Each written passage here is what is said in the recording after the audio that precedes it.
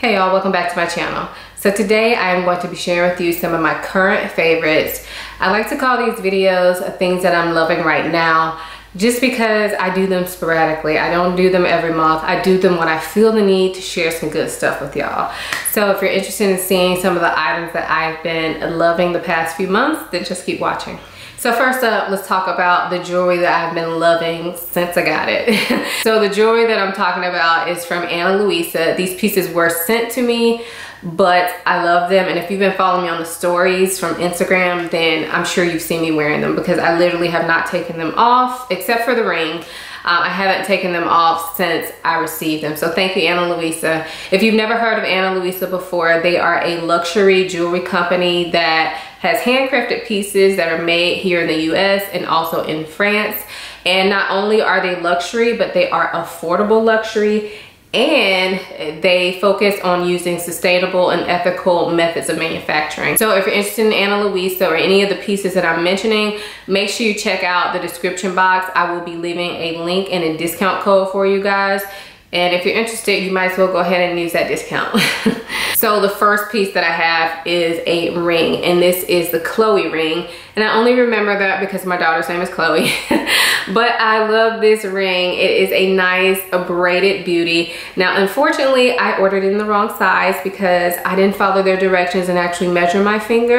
and I got the wrong size. But I've been liking to wear it as like a knuckle type ring. So I'll switch fingers just depending on how I'm feeling. But I really like it. It is simple, uh, but it also still stands out. The braiding makes it just look classic and expensive. And I also like that it's this particular gold on this piece is more of like an antique gold. It doesn't look cheap at all. And I like that it's not super shiny. It's just, it's just really well done. The next piece is this bracelet. I have been wanting a beaded bracelet for forever. And I wanted one that was not gonna break the bank, but also one that I felt like could stand up to a lot because I wanted to be able to wear it all the time. And here we are. I really love this one. It is a small beaded bracelet. I am thinking about getting another one to maybe wear a small stack, um, but we'll see. But I really like it. It is adjustable and I've really been enjoying this. Like I said, I've been wearing this in the shower, in the pool, and it looks perfectly brand new. Now my last and favorite piece is this necklace. This is like a puffed heart necklace. Not sure of the exact name, but I will list it down below. But I absolutely love this. I love that the heart is not hollow. um, because if it was hollow, you could kind of push it and it would dent. This heart looks perfectly brand new. There's not even any scratches. I also love the chain because of the sparkle. Do y'all see that? I don't know if you can tell on camera, but in person, I feel like this really catches the light on my skin. You could remove the heart if you want, um, which is another thing I like about it because you could wear this just as like a layering piece or you can add a different pendant if you want to switch it up. But I really love the heart. I love hearts. I know it may seem a bit childish, but I've always loved hearts and I don't see myself stopping anytime soon. While we're on the topic of accessories, let's talk about these sunglasses. I probably should have cleaned them, but that's okay. I have been wearing them a lot. I've worn these to the pool. I've worn these running errands. I've worn these on my way to work. and that's pretty much the only places I've been going, but I absolutely love these. Now, I do love a good luxury sunglass, but it's nice to have a cheaper pair like this one that I can just throw on whenever. And I also feel like it goes well with so many things. Um, so these are from Amazon. I will link them down below, but I really love these because they're lightweight, they're stylish, um, but they are easy and carefree and you know, they're getting the job done right now. Can't speak to as to how long they will last um, because you know, they are only like $12. But for now, I'm loving them and if they break i will just order another $12 pair. I'm saying $12 but i didn't check the price today. Y'all know amazon prices go up and down so they were like $12 when i bought them. So next up we'll talk about the little bit of makeup that i have. I i honestly have not been wearing makeup much like many of you probably because of the mask so typically i wear makeup if i have like a date or i'm filming a video that's pretty much the only time I've been wearing makeup. So that's why I really don't have many makeup favorites. But I do have a couple. Um, first one is this Gucci mascara. I'm wearing it today. I picked this up during a Sephora sale earlier this year and I finally got around to opening it and I really, really like it.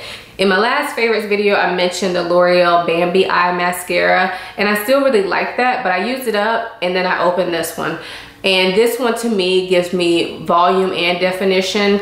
It is a pretty expensive mascara, so I'm not sure that I would repurchase this if it's not on sale, but I have really been enjoying it and I love the like va va boom it gives my lashes. So this is the Gucci L'Obscur Mascara. The only other makeup item I have to show is actually super new, but I wanted to share it because who knows when I'll do another one of these videos and I only need like one day of wearing this type of product to know if it's a favorite. but this is uh, a gloss from Sephora. This is part of their glossed collection. And I think these are relatively new, but the shade that I have is hashtag blessed. I'm wearing it today, but it's this beautiful like pinky or this taupey nude color. And I just feel like it goes really nice with my skin tone and it's really comfortable. I don't get that little white line. It's not sticky. It feels very smooth on the lips and it does not accentuate any dryness or make me look too washed out. I really, really like it and I just feel like it's an easy reach. I have not been wearing much lipstick because even if I am going on a date, the mask will cover it. So I've been pretty much just sticking a gloss and I can't wait to get some more use out of this one. I have one nail polish that I want to share with you guys and this one is from Nail Addict. You might have seen me do an unboxing on one of my vlogs. I'll try to link it in the cards. But this was my favorite product from them. This is the color Not Ashamed and it is a gel glitter polish. So of course I'm not wearing it today but I think I do have a picture so I'll try to insert it here for you guys. But I like this because it is a pretty opaque glitter. So I applied this using two coats but you probably could get away with one coat, um, especially if you put another color underneath it. But I like it because you can just wear like the two coats and you don't need a color underneath it. It looks like you have a color underneath, but you, you just have a bunch of glitter, if that makes sense. And I really, really like it. I also like that it's smooth. I was a bit worried about it because I had never really done a gel glitter before. But after like I applied my top coat and all, it felt smooth to the touch. It didn't snag on anything. And yeah, I really, really enjoyed wearing this. And I may even, I did it as an accent nail when I wore it before, but I may even try it on all of my nails. We shall see. but yeah, I highly recommend this shade, Not Ashamed from Nail Addict. I had a discount code when they sent this to me, but I'm not sure if it's still active, but if I can find it, I'll leave it down below. Next up, I have three fragrances I wanna share with you guys. Now, y'all know I try to limit myself to three fragrances in these videos because I'm always switching fragrances really hard for me to pick favorites because I have so many and I rotate them constantly. But there have there are three that I want to share with you today that I feel like I've been going back to over and over again. So first up is an oldie but a goodie and this is none other than YSL Black Opium. This, I have gone through probably about two or three bottles of this previously. And if you can tell, it's all the way down here now. So this one is almost gone. And actually that's kind of the reason I started back picking it up and wearing it because it's almost gone. I was like, I should just go ahead and finish it. So I started wearing it to bed and I remember why I used to love it so much. It's so nice. Now I know a lot of people don't buy black opium anymore because it's too popular and all that. But to me, it smells really, really good. It's not the most long lasting in my opinion, but I've been really enjoying wearing it to bed. And I think my husband has enjoyed that too. but it's just a nice, sweet, like coffee, gourmand fragrance. Everybody smell black opium. I don't need to spend a lot of time on this, but it's almost to the point that I feel like I wanted to use this up to get rid of it, but I kind of like, I don't know. I may repurchase it. I don't know. Um, we'll see. But anyway, YSL Black Opium. The next two are new-ish to my collection. Um, this one here is from Fragranza. I did purchase this and I will be doing a Fragranza video on some fragrances they sent me and the whole collection that, well, all the ones that I have. So look out for that video. But this is one, the first one that I purchased and what made me really fall in love with the brand. And this is called Limon e Vaniglia. I believe this is supposed to be a dupe for Xerjoff Lyra. Uh, which I've never smelled, but this one is absolutely amazing. It smells like lemon cookies. Oh my gosh. Mm, this just, this makes me want to eat a lemon bar so bad, y'all. It's so good. It's sweet, and but it's also tart from the lemon, and it just smells edible. I, I love wearing this one to bed as well. Um, I haven't been wearing it when I go out too much, like during the day because it's so hot here. But I have worn it to work and it worked really well for that. On me, I believe it lasts around like six to eight hours. So I feel like that's really good longevity on my skin. And when I wear this overnight, I do smell it in the morning when I wake up. But I really, really like wearing this one to bed. But when it gets a little bit cooler here, I will be wearing that bad boy throughout the day.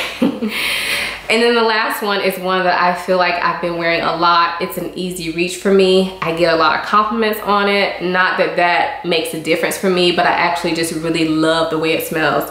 And this is from MFK, I'm not saying the name. Uh, it's Gentle Fluidity Gold. And this, it's just beautiful. It is like a creamy vanilla, but it's also sparkling. And you can definitely smell some freshness in it like some herbal qualities to it. I believe that maybe the juniper berries in it but i absolutely love this one. There's something about it that gives me everyday vibes but at the same time it's different.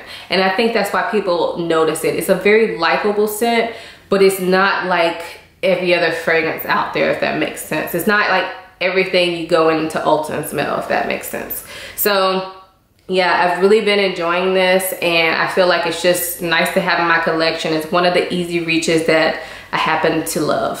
So hopping off fragrances, going to body care, I do have a lotion I wanna share with y'all and it's this one. this is the Up and Up brand Extra Repair Unscented Body Lotion. So if you are a fragrance lover, then you know you need an unscented body lotion in your stash so that you can layer it with fragrances and it don't it doesn't like interfere with whatever you're wearing. So I had actually bought this for my husband because he ran out of lotion. I bought it for him. I am I don't I want to say I'm bougie when it comes to lotion, but I never buy store brand lotions. My skin is very dry, so I have to be careful. Well, my body skin is dry. I have to be careful what lotions I put on my body because a lot of them just don't work and I get ashy, y'all. I get really ashy. So I would never buy a store brand for myself. However, my husband has that nice like supple moisturized skin. So he can pretty much use anything and he doesn't care what kind of lotion he uses. So I bought it for him. This is like $2. I ran out of my lotion. I use this and now I am hooked. I've I think this is my second time purchasing it for myself at this point. I've actually been using it on my kids too. Noah has eczema and this has been working really well for him as well. Uh, so I switched between this and a heavier lotion for him just depending on if he's having a flare up but like on a daily basis he's using this too and I just can't say enough good things about it. It is not like cheap, it's good texture and it's $2. Like what? Who? Like I haven't bought a $2 lotion for myself since probably like high school. Really really really. So yeah i had to tell y'all about this because i felt like how come nobody told me about this? This is amazing for two dollars and it, it just does the job. So i wanted to share this with you guys. I also like the fact that it's it's moisturizing but it's not super heavy where i feel like it's sticky um, putting on my clothes so. The next product I have is a hair product and this one is from Melanin Hair Care. This is the multi-use softening leave-in conditioner and I do have a hair care video coming up. I already filmed it, but this one, this video you're watching now will probably go up first. So I don't know. We'll see which one goes up first. but um, yeah, I've really been loving this. I got this a few months ago and I, I like to use it as a leave-in conditioner. I don't typically use it as a rinse out because it's kind of expensive for that, but I did try it as a rinse out and it works beautif beautifully for that. It really helps to make my hair feel moisturized and that moisture lasts until I need to rewash my hair And then I also like that it makes my hair very easy to detangle. So yeah, I highly recommend this. I'm really glad I stepped out took a chance and bought this product. Um, if y'all don't know, Melanin Hair Care was created by Whitney here on YouTube, um, Natural85. She's one of the first like natural YouTubers I started out watching years and years ago. So shout out to her. I actually really love, really, really love this product. I know a lot of times when YouTubers and all make products, we don't really trust them. but uh, that one is really good in my opinion. It works really well for my hair. So this last product is not one that's new to me. I've actually used it off and on for years. And I actually showed it to you guys in my last vlog video, but I felt like I needed to mention it here. This is from Drunk Elephant. It's called the A Passioni Retinol Cream, and this is my retinol of choice. I like to use this at night, not every single night, but most nights at this point, at least probably about four days a week, um, just depending on how I'm feeling to be completely honest. But I took a break from using this because I honestly do not like purchasing it. It is expensive. I think it's $70 for one ounce. Um, so that's pretty expensive. But for me, I just feel like I really noticed a difference of not using this. Even though I switched to a different retinol product, um, and I don't think I don't think there's anything wrong with that retinol, but I just feel like this one it does me right. This retinol cream helps to keep my skin looking supple and smooth and it feels smooth to the touch. I really like Drunk Elephant products. I don't use like all Drunk Elephant, but this is one of my favorites from the brand. This is the top two. Um, the other one that I really love is Baby Facial. Um, I'm not showing that today because we're just talking about this one, but I know I've shown baby facial so many times. But the retinol cream, I definitely noticed the difference when I did not use it as opposed to using it. So yeah, I'm just gonna keep repurchasing this, guys. I love it and I highly recommend this if you're in the market for a retinol. So that is it for my favorites today, guys. I hope you guys really enjoyed this video. I really enjoyed making it. Please make sure you are following me on Instagram. I have a new account. I feel like I keep mentioning it, but I'm really trying to build that account up. So y'all can help me out by following me there. I'm very active on Instagram stories and I've really been enjoying interacting with y'all that way. Also, please make sure you check out the description box below. As always, I'll be linking all the products that I mentioned, including my Ana Luisa pieces. And I'm telling y'all, y'all need to get your hands on these. Um, and I'll have my discount code for Ana Luisa down below below. So again, thank you guys for watching. Let me know what your favorite product was over the past couple months. Let us talk about it down below in the comment section. And please make sure you're subscribed. I will see you in my next video. Bye.